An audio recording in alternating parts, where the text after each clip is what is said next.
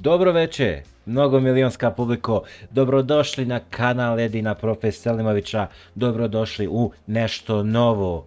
Najprije, vidite me sada, jel tako, na kameri, dobrodošli u novu inovaciju. Malo mijenjam, malo mijenjam stvari, uveo sam sebe da me gledate dok ovo pričam, jer nešto novo ću pokušati sa svojim kanalom, nadam se da ću uspjeti, znači da će biti puno, puno zanimljivije nego što sam do sad bio ima u meni dosta zanimljivih informacija i maštovitih načina za prikazati to, pa hajde da malo pokušamo. Kameru sam nabavio po poprilično velikoj cijeni, ali nisam zadovoljan njenom kvalitetom. Za ove pare koje sam dao mogle i morala je biti bolja. Nego, ovaj video je u vezi znanja, pravog znanja. Ako volite znanje, ako vas ono zanima, ostanite, dobrodošli ste. Ako ne, nemate da što da radite ovdje, možete komotno ići gledati šta već gledate. Trenutno je veće, bar kod mene, 21 sat 6 minuta. Kod vas je možda dan, možda jutro, ne znam kada gledate ovaj video i da li ga ušte gledate. Ali ako ga gledate, svaka čast, nadam se ćete nešto novo naučiti. Šta da nas učimo? Pa vidite, čovjek uči dok je živ. Ja, pogotovo. Svaki dan nešto novo naučim, svaki dan. Ja volim da kažem kako je jedna od najboljih stvari koju smo mi ljudi ikad izumili internet. Ali isto tako jedna od najgorih stvari koje smo ikad izumili. Ako ga koristite kako treba, internet može biti jedno od najjačih oružja koje imate u svojim rukama. Isto tako, ako ga koristite kako ne treba, može vam zagočati život. Zato, hajde da ga koristimo kako treba. Ja prvi.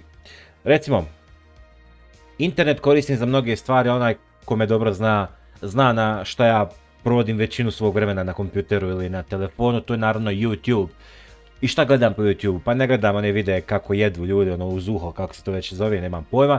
Niti gledam Minecraft i slične te gluposti. Gledam nešto što me može opametiti, dodat mi neko znanje koje nemam u glavi do tada. A imam puno toga u ovoj glavi.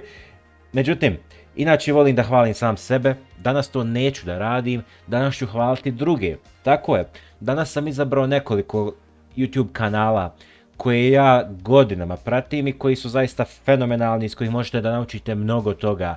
I želim da vam reklamiram te ljude, ja sam sav takav. Pa, prije što počnemo, samo jedna stvar ostala, da budem totalni profesionalac. Stavit ću ove naočale na svoje oči, u HD, sve bolje. Možemo početi? Možemo. Kanale sam pripremio, sve tu. Ići ćemo redom, u par rečenica ću reći o svakom kanalu ponešto bitno, pa počnemo. Prije što počnemo zapravo, koristite YouTube u dark modu, puno je ljepši. Evo vam ovdje idete appearance ili kako se to kaže na našem jeziku pregled. Možete koristiti tipični njihov youtuberski ovaj svijetli koji je ružan za oči u noćnim satima, pa stavite dark mode, odnosno mračno, mračni mod, puno ljepše. Ovo radite na kompjuteru općenito, možete ovo da uradite, imate proširenje, vidite dark mode koji upalite za sve. To radim i na, na mobitelu, puno je puno ljepše za oči. Svaka im čast onome koji ovo izmislio. Nego, počnemo prvi, od prvog kanala Epic History TV. Ja sam historičar, naravno da ćemo početi od historije. Jer e, većina mojih YouTube kanala koji pratim su historijski kanali. E, imam dosta, dosta pretplata. Imam 50 i dva i koliko već je neke 10, 62 kanala koje sam pretplaćen. Nisam ih sve izdvojio, neki su malo bitniji, neki manje. Ali počnemo od Epic History TV, odnosno Epska historija. Šta je ovaj kanal? Pa ovaj kanal vam je video koji prikazuje neke bitne događaje putem karte i veliko, velike analize stvari. Evo recimo, prvi svjetski rat u sat i pet minuta su ljudi prikazali manje više sve najbitnije u Prvom svjetskom ratu. Vidite trenutno karta istočnog fronta. Amo da prvo staviti na negdje gdje je tačno karta. Evo, karta istočnog fronta, je bitka za Beograd upravo 2. decembra. I sada vam pokazuje hronološki ide od početka do kraja kako su se pomjerale vojske, šta se bitno dešavalo. Evo čak i slike nekih civila koji pate ne samo prvi svjetski rat, imaju mnogo toga, imaju par hiljada videa sigurno, ako stavim ovdje popular, koji im je najpoznatiji, evo, Mongoli, Cezar u Gali, današnjoj Francuskoj, muslimani, početak muslimanskog osvajanja i slično. Zaista imaju mnogo toga i dobro, super. Ovo sam već otišao na drugi kanal, moja greška, ovo je Epic History. Ali kad smo već kod ovih karti, znate ako me znate, volim karte, pogotovo historijske karte. Imam nekoliko kanala koji su na taj fazon, po navodnicima, gdje se radi preko karata, svaka radi drugačije. Evo na primjer ova, Kings and Generals, kraljevi generali.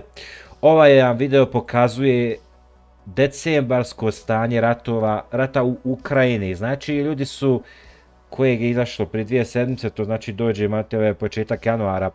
Ljudi su izbacili video koji pokazuje stanje u ratu u Ukrajini i opisuju šta se dešava, koja su pomiranja, neke izjave, oružje koje je došlo, šta se desilo. Ne samo to, oni imaju nevjerovatan broj videa i neki od njih možemo zatvoriti ovamo ovaj Epic History TV, njega ste vidjeli, koji je njima najpopularniji, pa to ono što sam pokazao, i Mongoli, rimsko osvajanje Grčke i slično. Nažalost, ili na sreću, kako hoćete, većina ovih kanala koje imam pripremljene su na engleskom jeziku. Ali nemojte se prepasti, učite engleski djeco, ljudi, kogod ovo da gleda.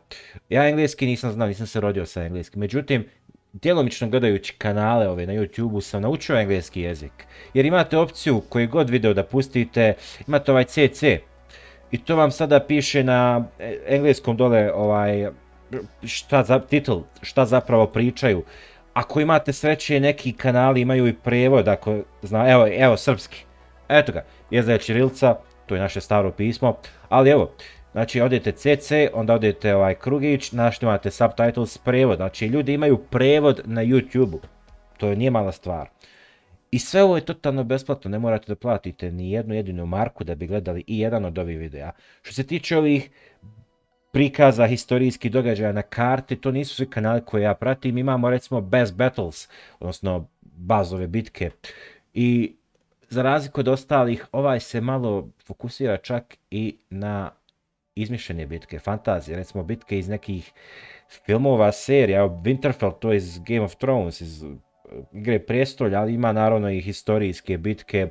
Većinu ovih ruku na srce nije mnogo naš čulo za njih. Evo, bitka na rijeci Bug 1018.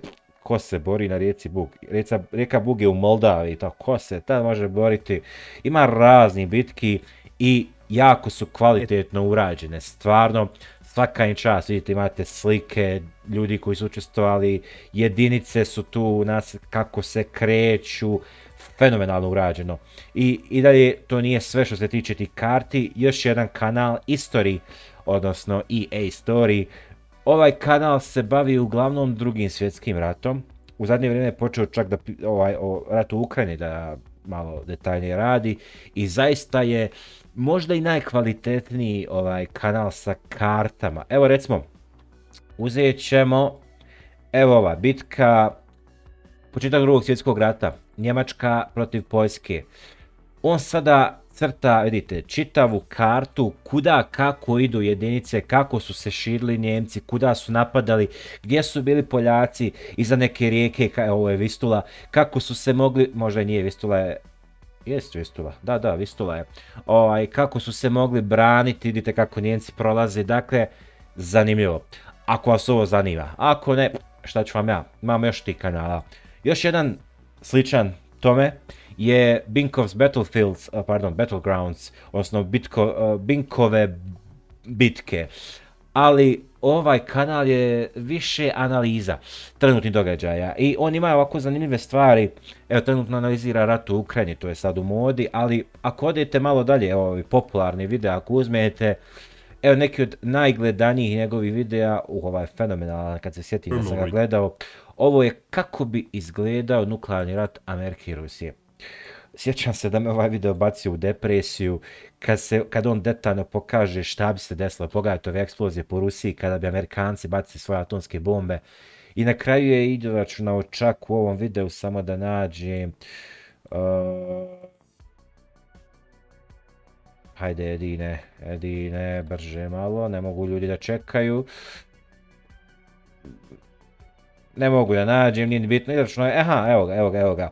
Izračno je dakle da, da Amerikanaca otprilike 100 miliona poginulo u ratu, Rusa bi poginulo možda i više u, u ovome ratu i naveo razloge zašto on misli da bi to tako bilo. Sad da li on ima prevode ili ne, ne znam, nije ni bitno. Pogledajte, svidjet će vam se. Još jedan kanal sa kartama, historiograf. Inače ovaj kanal se u zadnje vrijeme bavi uglavnom pomorskim bitkama, bitkama brodova, što je osvježavajuće jer nema takvih mnogo na YouTube-u. Pa evo uzmemo za primjer jednu kao što je bitka ne znam, evo, možemo bitku u Mers el Kabiru, kada je Britanija napala Francuze u drugom svjetskom ratu, svoje dotadašnje saveznike. Vidite, on sad prikazuje kako su, čak ima i prave historijske videe stavi u, u, u, u ovaj video, što je nevjerovatno zanimljivo. I sada on prikazuje kuda su se kretali brodovi, gdje su ovi drugi bili, kad su pucali. Nevjerovatno, nevjerovatno detaljno urađeno, mnogo toga se nauči. Međutim, ako vam je do ovog svega na našem jeziku, da razumijete šta priča. Ima ovaj kanal Srpske bitke. Ja nisam pretplaćen na njega, ali evo opet ga reklamiram. Nadam se da će mi uzvratiti nekada ovaj uslugu. Zašto nisam pretplaćen? Pa iz razloga što većinu ovih videa je neko drugi već objavio na engleskom pa sam ih gledao.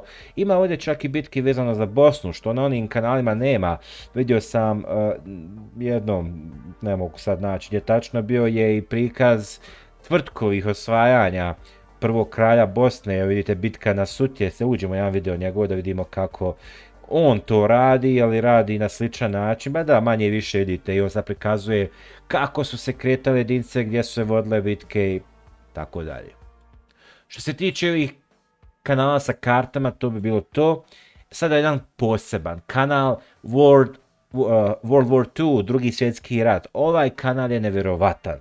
Ovdje imate svake sedmice u subotu izbace video u kojem pričaju tačno šta se desilo u drugom svjetskom ratu u toj sedmici.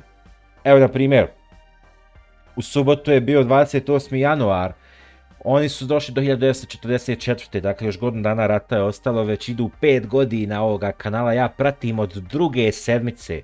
Znači, već skoro 5 godina ja pratim ovaj kanal i svake sedmice oni pričaju šta se desilo, isto tako sa kartama, sa analizama, sa neverovatnim detaljima. Imaju oni i sličan kanal ovome koji se bavi prvim svjetskim ratom, koji je lansiran 2014. i išao je do 2018. 4 godine, koliko traju prvi svjetski rat. I ovdje su oni radili prvi svjetski rat, isto tako iz sedmice u sedmicu.